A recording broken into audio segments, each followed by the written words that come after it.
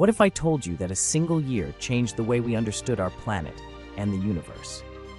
The year was 1957, and it marked the International Geophysical Year, IGY, a groundbreaking global scientific collaboration involving 67 countries. Initiated to promote international cooperation, this year-long event focused on the study of Earth sciences, from geomagnetism to atmospheric physics. Scientists collaborated on a scale never seen before, leading to advancements in our understanding of the Earth's systems.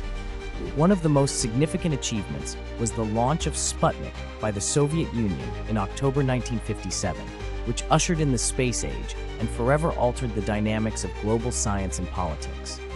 The IGY facilitated the establishment of thousands of observation stations worldwide, significantly enhancing meteorological data collection and paving the way for modern climate science. This collective effort highlighted the importance of collaboration in scientific discovery, setting a precedent for future international research initiatives.